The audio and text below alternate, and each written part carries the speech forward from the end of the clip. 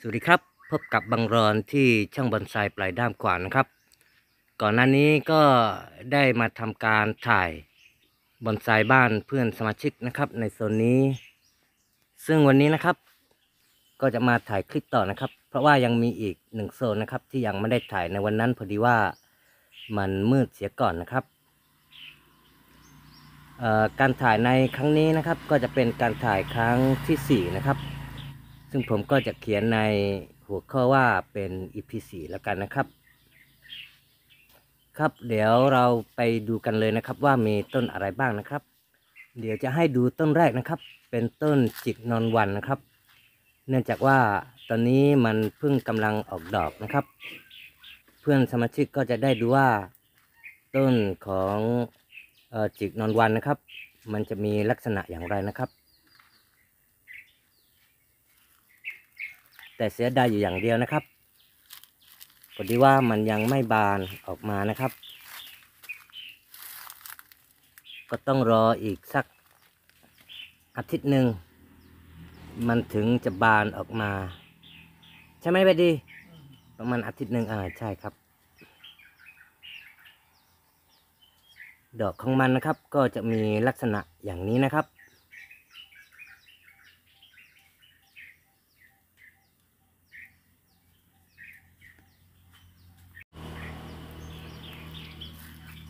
ในส่วนใบนะครับก็จะมีลักษณะคล้ายๆ กับจิกน้ำนะครับ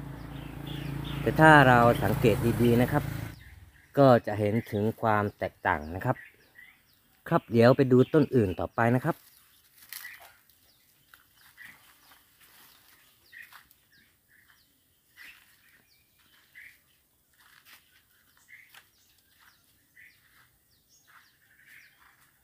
ต้นนี้นะครับเป็นต้นไกรนะครับ ซึ่งจะมีการเลี้ยงแบบธรรมชาติมาก ๆ นะครับ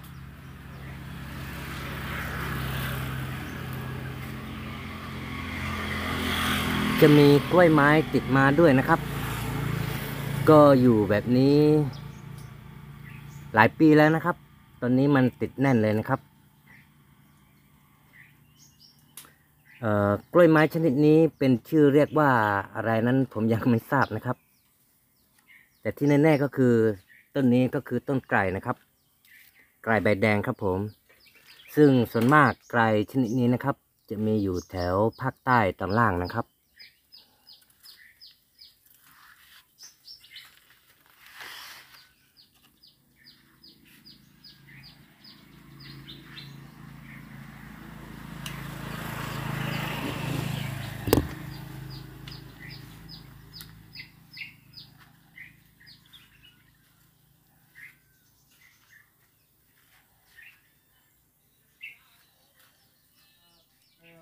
Sana kelok kelok. สายญี่ปุ่นนะครับ Ah, duk duk duk sana duk lagi dia lagi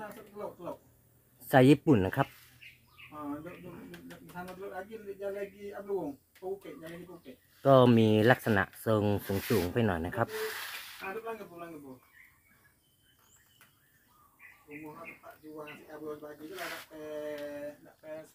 ส่วนต้นนี้นะครับก็จะดูแปลกๆไปหน่อยนะครับ เพราะว่าในหนึ่งต้นเนี่ยจะมีอยู่สองสายพันธุ์ด้วยกันนะครับ ที่เป็นต้นสายนะครับ กิ่งนี้นะครับจะเป็นสายใบดาบนะครับ ลักษณะของใบก็จะประมาณนี้นะครับ ในส่วนของกิ่งต่อไปนะครับ ก็รู้สึกว่าน่าจะเป็นสายเม็ดเม็ดอะไรนะ เม็ดกวยจี เม็ดกวยจีใช่หรือเปล่าไม่ทราบนะครับ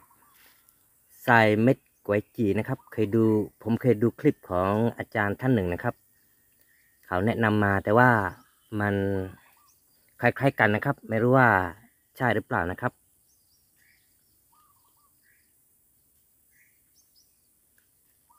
ก็มีอยู่สองสายพันธุ์นะครับ ในหนึ่งต้นนะครับ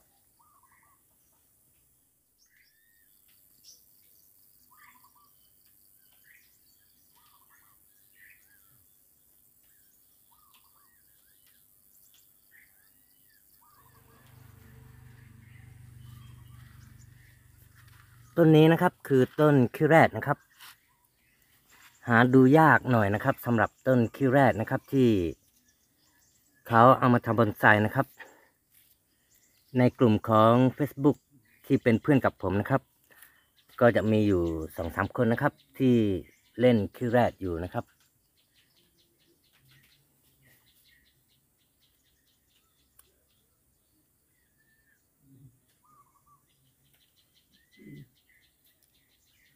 ครับใบก็จะประมาณนี้นะครับ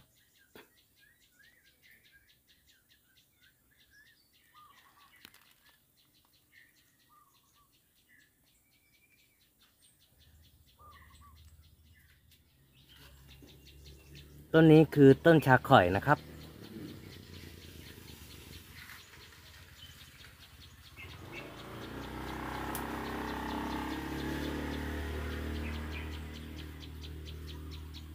จากนั้นก็จะเป็นต้นมะเดื่ออุทุมพรครับผม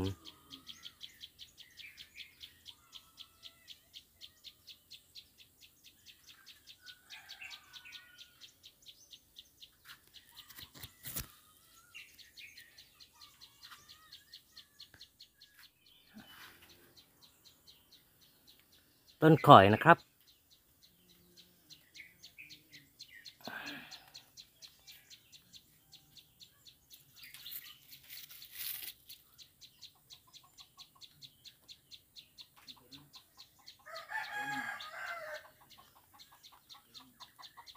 เป็นการเลี้ยงแบบธรรมชาติมาก ๆ นะครับ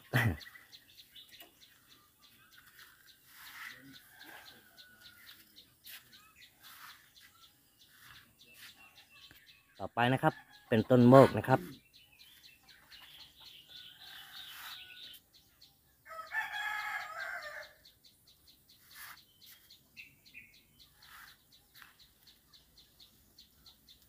ตอนนี้ดอกกำลังเบ่งบานอยู่นะครับ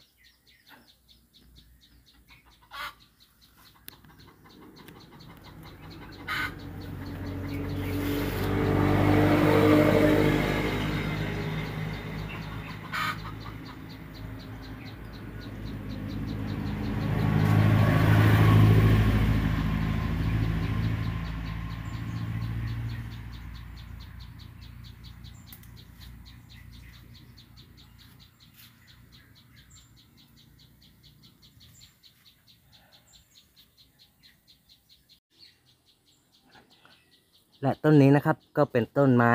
อีกชนิดหนึ่งนะครับ ที่ไม่มีในทางภาคใต้นะครับ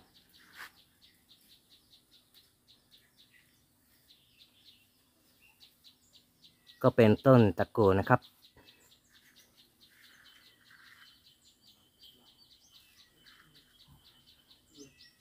ครับก็ถือว่าเป็นการแบ่งปันให้ได้รับชมกันนะครับ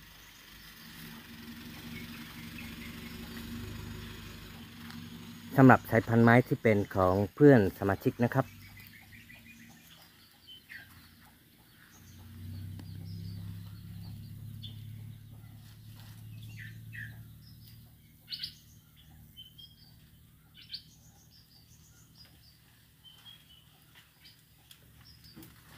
ขอบคุณทุกท่านด้วยนะครับที่มารับชมคลิปนี้ด้วยครับ